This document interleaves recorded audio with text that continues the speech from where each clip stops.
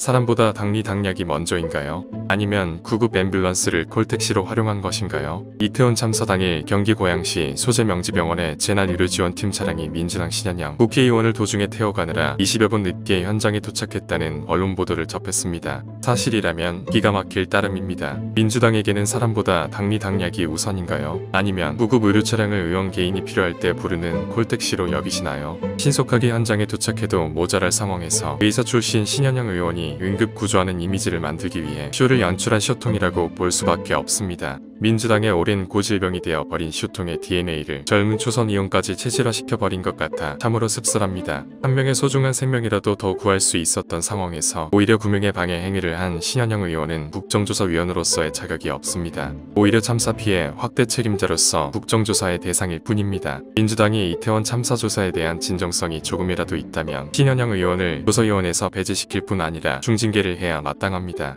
민주당의 진심 어린 사과와 반성을 촉구합니다. you